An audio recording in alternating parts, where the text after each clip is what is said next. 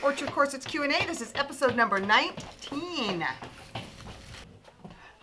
Oh, hey, Brittney, Oh, hi. Oh, This hi. week I am asking some of our uh, uh, team members here what their favorite corset is and why. Ooh, that would be the short 426. I like that it's nice and curvy for me. It's short enough so I can sit down in it all day, and it covers up the back bulge up at the top. Nice. And it looks fabulous Thank on you. Thank you. so much. You bet.